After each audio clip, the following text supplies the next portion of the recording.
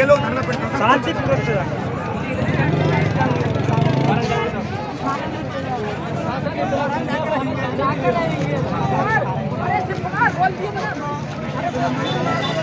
Reason ये है बाबा साहब ने हमारे लिए आरक्षण दिया है हमें। हमारे आरक्षण का छेड़खानी की जा रही है और हमारे आरक्षण को खत्म करा जा रहा है। इससे हमारे भविष्य में आने वाले युवाओं को नौकरी से वंचित कर दिया जाएगा।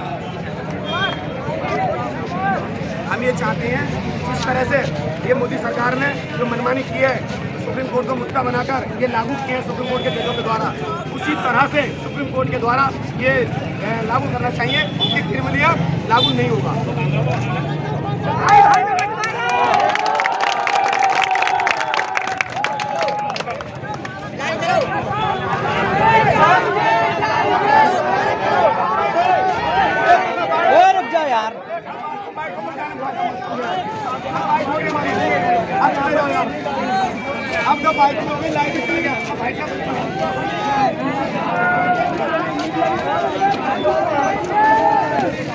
झंडा